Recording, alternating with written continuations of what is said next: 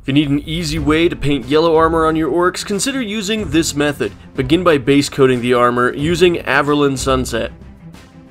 Once we're happy with that base coat, we're going to take Casandora Yellow and we're going to do a heavy wash of this over all of our yellow armor.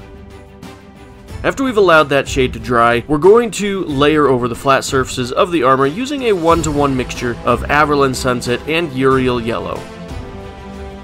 Next, we're going to take Yriel Yellow by itself. We're going to use this to edge highlight the sharp edges of the armor.